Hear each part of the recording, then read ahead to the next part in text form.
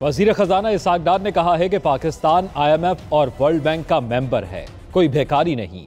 वो उन्हें इजलास में शिरकत से कैसे रोक सकते हैं?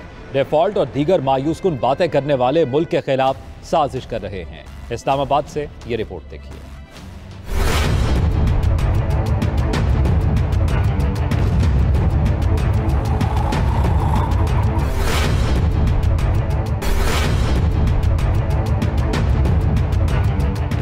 वज़ीर खजाना इसाकडार की इस्लामाबाद में प्रेस कॉन्फ्रेंस कहा आईएमएफ उन्हें कैसे रोक सकता है? वो वज़ीर आज़म की हिदायत पर अमरीका नहीं गए बल्कि अब वो वर्चुअल अजलास में शिरकत करेंगे। हम आईएमएफ और वर्ल्ड बैंक के मेंबर हैं भिकारी नहीं। कोई कह रहा है कि जी मुझे आईएमएफ ने मना कर दिया जाने से आईएमएफ मुझे मना नहीं कर सकता जाने से। पाकिस्तान एक मुल्क है और पाकिस्तान वर्ल्ड बैंक आईएमएफ का एक मेंबर है एक बेकारी नहीं है और पाकिस्तान के डेलीगेशन को कोई मना नहीं कर सकता। इसाकदार ने कहा कि एक साजिश के तहत कभी डिफ़ॉल्ट और कभी दीगर गुमराहकुन खबरें खबरें फैलाई जाती हैं। क्या किसी ने मुल्क को डबोने की कसम खाई है? दावा किया कि तमाम अदायगियाँ वक्त पर की जाएँगी। आईनी बहरान मुल्क में पैदा किया जा चुका है, जैसे कि और हमारे माली और मुआशी बहरान एक पाँच साल पिछले दौर में क्रिएट नहीं किए जा चुके, जहाँ हम बिल वर्चुअल एक अजीब भवर में फंसे हुए हैं as a nation as a country नवे दिन में तो इलेक्शन अभी भी नहीं हो रहे। बेनजीर भुट्टो का शहादत हुई तो नहीं हुआ, फ्लड ज़ाहिर नहीं हुआ अर्थ को नहीं हुआ। अभी भी जब अब अभी जो अभी जो डेट डेट है, अगर इस पे भी होंगे तो नब्बे दिन में तो नहीं होंगे। इसाकदार ने इंतबात से मुतालिक इलेक्शन कमीशन को इक्कीस अरब रुपए फंड की फराहमी से मुतालिक सुप्रीम कोर्ट के हुक्म बारे कहा कि तरजीहत के मुताबिक अहम अमूर के लिए फंड पहले जारी होंगे। इलेक्शन बाद में भी हो सकते हैं।